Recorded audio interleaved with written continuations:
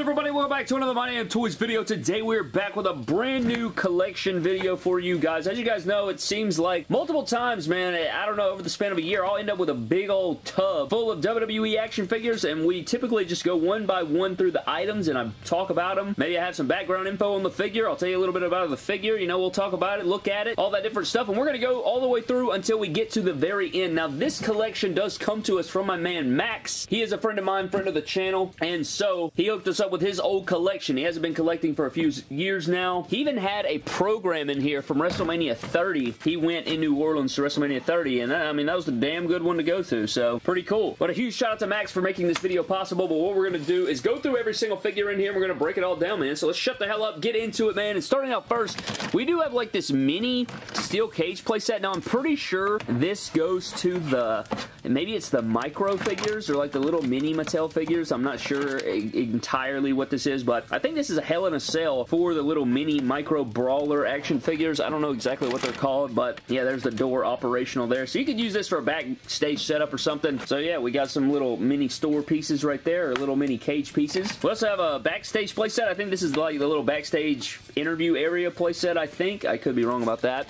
We also have the WWE Championship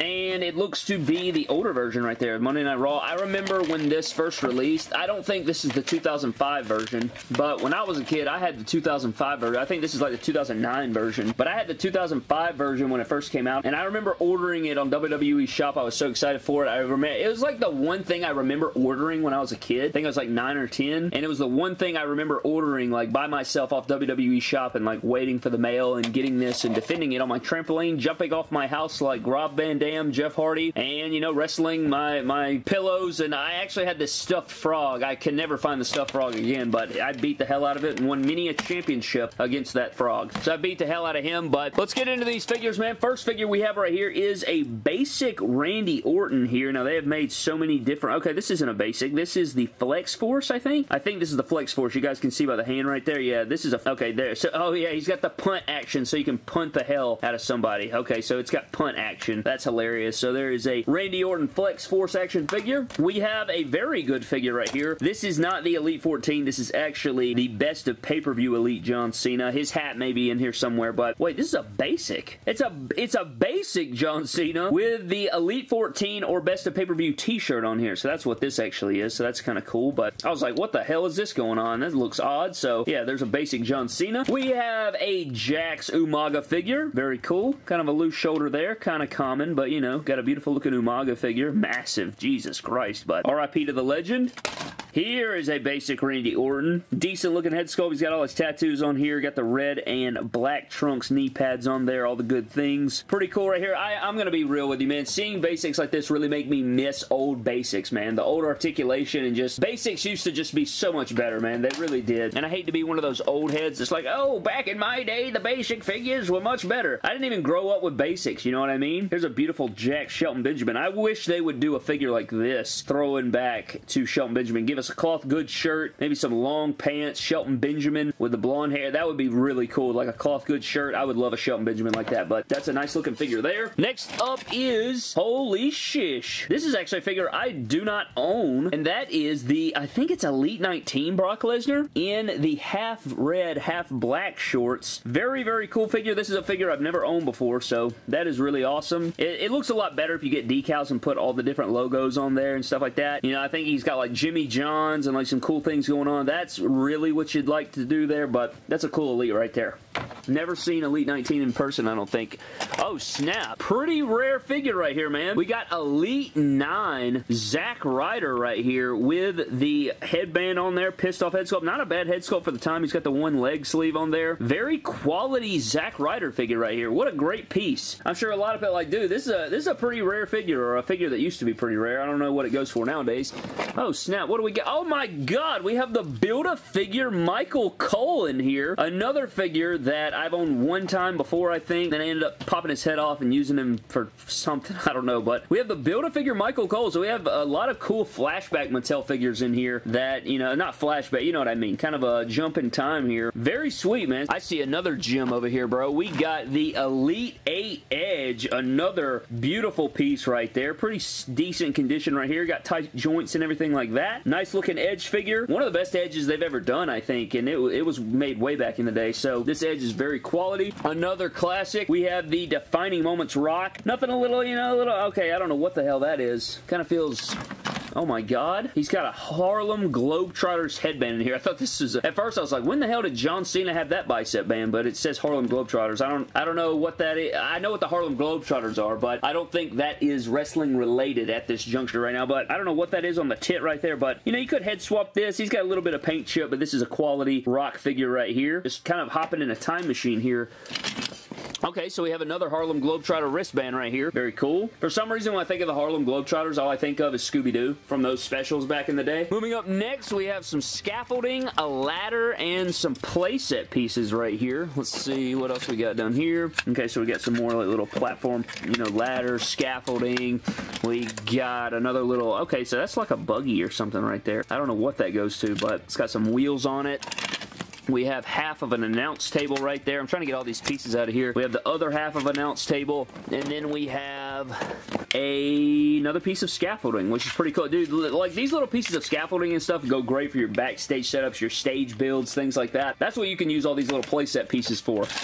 It looks like we have the bag that goes to the Elite 13 Cody, I think it is. That's a pretty good, a pretty good accessory right there. You know, you put it on the mask, but here's Cody. You know, you can just put this on there. I know this isn't the version of Cody, but the smiley head, I think this is the Elite 20 head sculpt. White knee pads. Pretty quality basic, if you ask me. It's not bad right there. You got a little something special going on there, young man. Next up, okay, now we have the best of pay-per-view John Cena. There it is. So he took the shirt off, put it on the basic, but it really goes with this Elite. Oh my god, and I'm pretty sure that's the Build-A-Figure Michael Cole wave, if I'm not mistaken. So probably was building the Michael Cole figure right there. We also have a look at a basic Triple H, but he's got the Elite Triple H accessories on here. So I I want to say that was a best of pay-per-view Triple H. It may not have been, but I want to say it was. I could be wrong, but there's Triple H basic with all the gear on. We have a very cool John Cena basic. I always love these like digital camo shorts. Pissed off head sculpt. Nice looking armbands on there. It's like the, you know, the Rise Above Hate and the black attire. Very quality right there. I like that. We have a basic Dolph Ziggler in here. Very cool. Love the small arm Zigglers. Can't wait for our new Elite SummerSlam figure that's coming soon. I'm pretty sure this is the Elite 7 Hornswoggle. He's got his even, he's even has the DX shirt on there. Very quality. Nice figure. This figure has so much articulation, bro. Like, these are so good. I, I love this figure. The Hornswoggle figures are underrated. Next up, we have another John Cena basic. Purple armband look this time. Pissed off head sculpt. You guys know they've reused this mold by 787 times. You know how it is. Another mold they've reused a million times is going to be Rey Mysterio here in the black, yellow, and white. Very cool right there. 619. We have an Undertaker basic, similar to the Elite 8. Got the pissed off head sculpt. Nice quality. Know, it's quality looking basic. Dude, just basics were so much better, man. I don't care. Back in my day, basics. Oh, snap. Really cool attire here for Kofi in the blue, white, and black. Very sick Kofi right here, man. I just feel like they're better quality. Like, the plastic feels better. You could move the bicep around. It actually felt like an action figure. It didn't feel like it was going to break, and the kick pad could actually move around, have ankle articulate. It doesn't feel like it's going to snap in half. I swear to Jesus, they were better, bro. Don't really care what you have to say. Next up is Defining Moments Macho Man. Don't see any cloth goods. I, I don't know if he has any more, but this is just one of the tubs he found there, but you know, you got the white and purple gear. I'm, i want to say they're going to re-release this figure someday. I guess, well, you know, that remains to be seen, or maybe an Ultimate 2-pack or something. I don't know. We'll have to see about that, but this is a gorgeous looking figure. A lot of OGs love that one. Moving on up, we have a good God in heaven. Look at this Miz figure, bro. I used to despise the Miz. My hatred for the Miz started back in these days, man. I was just like, what a tool bag this guy is. You know, I respect him a little, but Jesus, man. Like, look at this Jakks figure, bro. Look at that massive, massive Miz. Just what a, like, look at this gear. What are you doing, bro? We got a Ryback basic. Pretty, I mean, not a bad looking figure whatsoever. Nice little singlet design. Like, basic, man. Let's just get off of it. All right, we're, we got it. All right, we got it. Quality looking Booker T right here. Love the gear. Love the head sculpt. Elbow pads in here. Even have the sculpted boots. Very, very good Booker T basic right here. don't think I've really even seen this Booker T before, so that's pretty quality there. We got, uh, what the hell this Miz is doing, almost looking like a bone cruncher. Look at him. Look at that pose right there. I don't know what this is from, but he's got like, what in the I don't remember these. I, I, I have no recollection of this line right here. But yeah, you got the Miz doing whatever the hell he's doing. And then you got a Wade Barrett Nexus basic right here. Not a bad looking figure, even though he's got like the, you know, some of these basics back in the day, their legs would like, you know, aim inward and they'd end up like with their feet together like that and look all weird. So that did happen sometimes. We got a Jakks. What the hell is that? Six-man tag team championships? I don't, I don't know what the hell that is, to be honest with you. I have no idea where that's from. But we do have the other side side plate to our Jakks WWE Championship. We have the Elite 13 Cody, so there is the mystery solved there. We actually do have our Cody uh, Cody Elite here. So this is the first time I've ever held this figure in hand, I think. So that's pretty cool. It's got the Elite 32 head sculpt and all that. We have an Undertaker with like some effed up hands. I don't know what's going on here. I think this is another Flexum figure or something. He's got, I guess, like headbutt technology. I, I, don't know. I don't know what that one is. We have another Wade Barrett Basic, this time without the Nexus armband. We have a Sin Cara Basic, who used to get a lot of figures as well, I guess because he's just so toyetic, but haven't had a Sin Cara in a while for obvious reasons. He also came with this removable mask. Next up, it looks like we have another Randy Orton Basic, this time in black and white, so kind of plain Jane. And then we have this Rock Basic that they have re-released like 984 times. Rock and long pants, bro, they just be pumping those out. Like, they don't even care anymore at this juncture. We have a Jakks Undertaker with the Sarah tattoo. I wish they do that. I wish they would give us an Undertaker from Mattel with Sarah tattoo, but they're not going to do it. But look at that head sculpt. We have a little mini Brawler CM Punk in, in yellow and black. I'm pretty sure that's his debut gear. Could be wrong about that, but he's looking good. I'm not gonna, I, I don't really want to get him out of the box because I'm afraid I'll lose him, but a little mini ladder thing. A WWE Elite figure stand that used to come with all the Elites. Yet again, another Randy Orton basic. Like, good God, at the Randy Orton basic, must have been a big Randy Orton guy. I mean, I'm a big Randy Orton guy. We have a Daniel Bryan basic. I think I've owned this one before. That's a lot of that's a head sculpt a lot of people use for Kenny Omega. So that's pretty cool. I think it's Elite 19 head sculpt.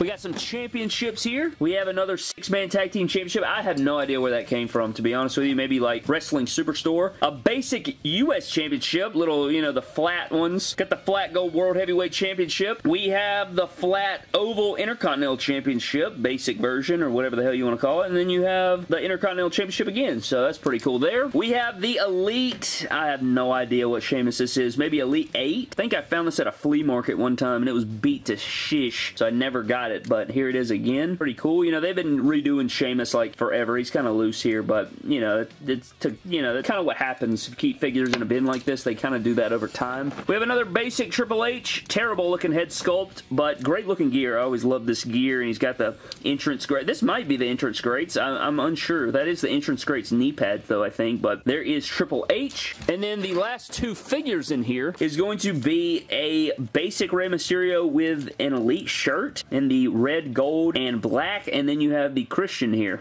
with the cool looking head sculpt. So purple and black attire Christian. And then the last things we have here is going to be a Randy Orton Elite 2 shirt, I think, or maybe Elite 9. Then we have the core, very, very cool. Corre t-shirt, and then we do have some more scaffolding, camera in here, and then we have an armband, which says GT batting tees, which I have no idea what that is.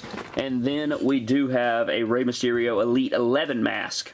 That was the full box, man. Taking a trip down memory lane. Lots of great figures in there. He also sent me some basic rings, so, you know, it's the, it's the run-of-the-mill basic rings that we've seen so many different times before, but always love getting these massive boxes, man. Getting these massive boxes and then going through them one by one and taking a look at all the different figures. But I had a ton of fun, man. Thank you guys so very much for watching. Hope you guys did enjoy. Lots of big things coming in 2023, man. I, I have a lot of ideas, and I'm trying to sort it out, but I am ready to go, man. I'm very excited for what's to come in 2023. Lots of things people have been waiting on, things I've been waiting on, just lots of great things to come, man. But I appreciate you guys so very much for watching. Leave me your thoughts down in the comment section below, but I'm getting out of here. Subscribe to the channel. Follow me on Instagram, Twitter, and TikTok at MyDamnToys. I will see you guys in the next video, and I talk to you guys next time. Have a blessed day, and I'll see you guys in the next video.